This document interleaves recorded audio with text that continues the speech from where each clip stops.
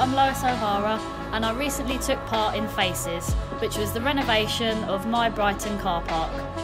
I repainted the car park ramp using bright colours and my idea behind it was to basically focus on the idea of in today's world how we are constantly distracted and our own flow through life is broken and disjointed.